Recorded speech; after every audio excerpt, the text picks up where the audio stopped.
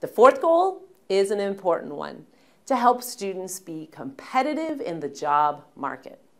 Not only does English help graduates find jobs and offer often ones that have higher salaries, but it also helps existing students obtain high quality internship opportunities, gain competitive scholarships, or participate in study abroad programs.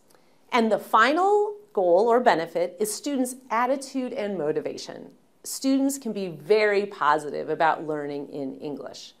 Some research has even found that students in EMI courses had a more positive attitude toward instruction in general. So I recommend that you keep these goals in mind when you plan and teach your EMI courses. Remember that the focus is on students developing English and content and that they will use this English in their future careers.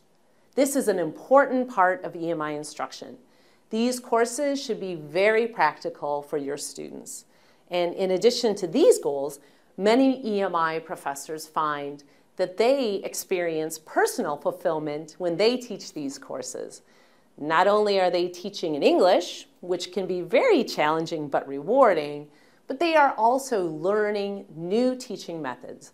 So enjoy your experience of planning and teaching your course in English you are helping your students join a professional community that will offer them many benefits for years to come. Maybe you aren't surprised, given the goals that I've mentioned, that science and engineering programs adopt EMI more rapidly than other majors.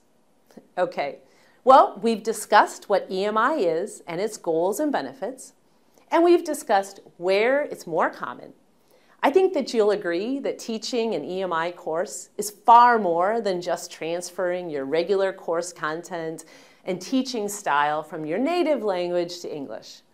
So thanks for joining me in this video.